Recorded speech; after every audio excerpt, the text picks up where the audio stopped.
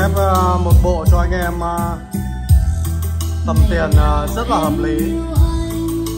gồm có bộ kéo đẩy và một cặp loa JBL khủng long nhá.